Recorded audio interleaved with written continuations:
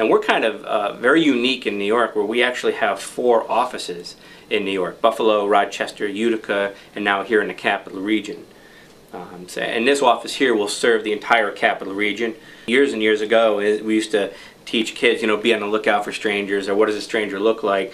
Um, but studies show and, and history shows that uh, many times that a child becomes a victim, it's with someone who they, they know. Um, either an acquaintance, somebody who's friends with the family, or someone that's a professional in the area who, who they've come to know so they don't feel as threatened and, and scared by that person.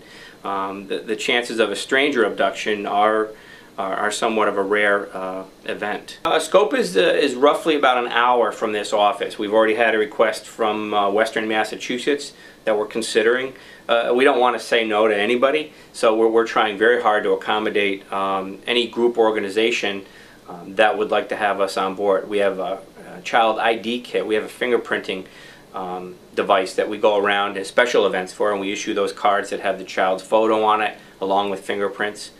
Um, we have packets that we hand out um, as well when we go out to special events. So you'll see us in the community. Well, we've got a schedule already lined up as to where we're going to be in different places. Uh, and again, this services the whole capital region, so we don't want people to think just because we're located in Saratoga, we have this beautiful free donated space here.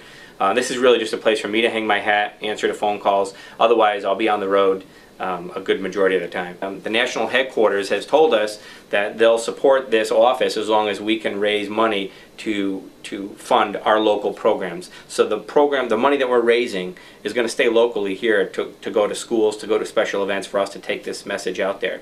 Knowledge is a great thing and knowledge is powerful in education. That's, when, that's what's going to help prevent these children from becoming exploited um, or worst case scenario abducted. Education is, is powerful.